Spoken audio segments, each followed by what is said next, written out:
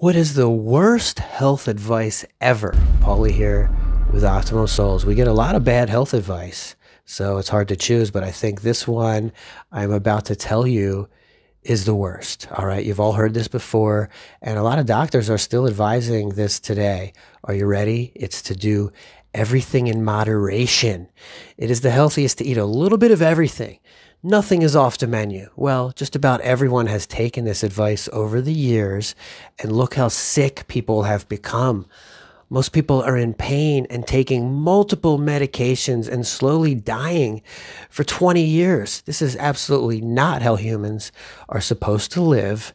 We are literally being farmed and abused like cattle, and the fake research keeps pushing the fake foods. There is a laundry list of foods that you should never, ever have. Everything in moderation is a huge lie. It's really just a blanket excuse that allows you to eat anything you want, whether it's poisons, toxins, harmful chemicals, or body harming sugars. Go ahead, have a little. You'll be fine. Follow to lose weight, get off meds, and heal depression.